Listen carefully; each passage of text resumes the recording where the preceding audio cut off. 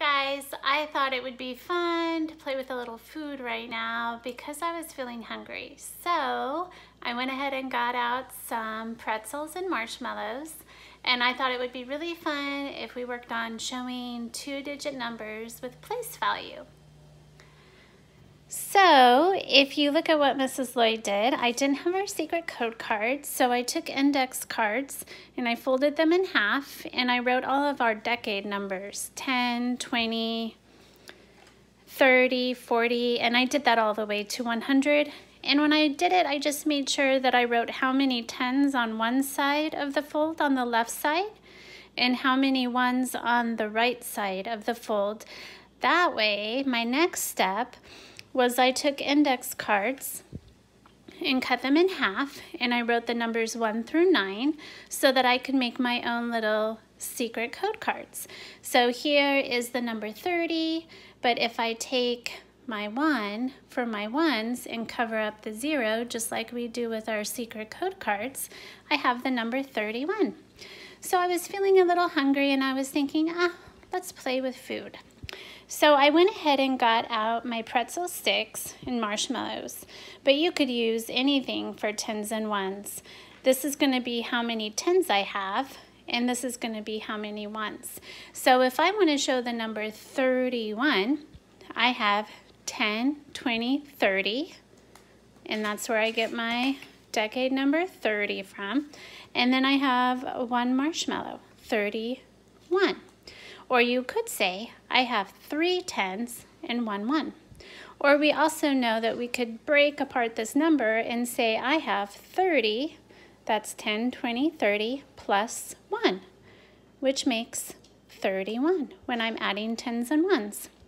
So I'm going to go ahead and say uh, I have the number 31, but I want to add 10 to it. 31 plus 10, I'll just take another 10 stick out here. And now I no longer have three tens, I have four tens. And four tens is the same as 40. So I take my secret code card, the decade number 40, just like that. And then my ones hasn't changed. So now I have 41. So 31 plus 10 equals 41. Uh, but what if I want to add another 10? 41 plus 10. So I could take another 10 out, put it down. Now I have five tens. So I could take away my 40.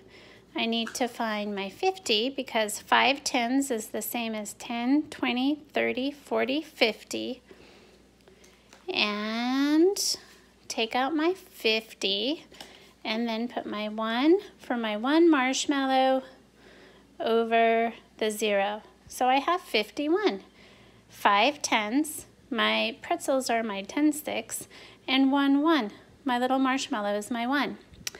Uh, you can imagine why I used pretzel sticks. It's because they're longer, so they remind me of our 10 sticks that we used in class, where you could take, like, remember our ones were the little cubes, and if we had 10 of those, it lined up to be a 10 stick. So I thought pretzel sticks would be good, and marshmallows are just delicious to eat, because I could always eat my food when I'm done playing with it. So um, I decided to use a marshmallow. You could also use chocolate chips for ones. You could use M&Ms. If you want to be healthy, you could take carrot sticks and use those for tens. And for your ones, you could use things like green peas, um, little pieces of broccoli, florets, uh, delicious things like that. So you don't have to use pretzels and marshmallows. I just thought that would be yummy. And then it's fun to say plus 10 or minus 10. What is 51 minus 10? Well, I can show that. 51 minus 10, or 10 less, is 41, like that.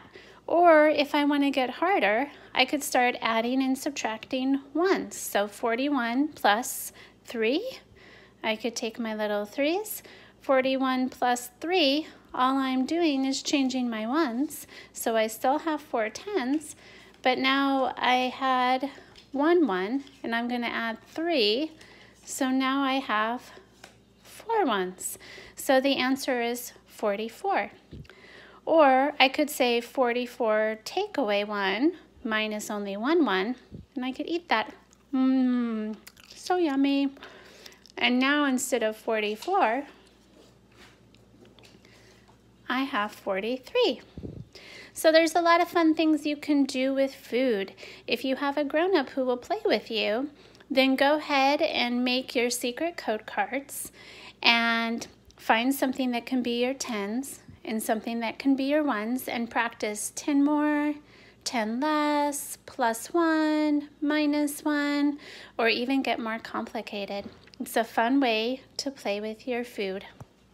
So have fun. I'm gonna start eating my marshmallows now. Talk to you guys later.